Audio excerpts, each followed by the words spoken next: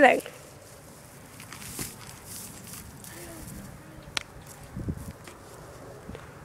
Today, Levi Mummert will jump into the giant haystack beneath him and find the needle.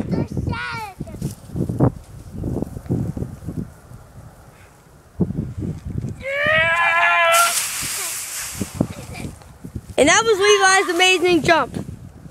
Should I keep recording?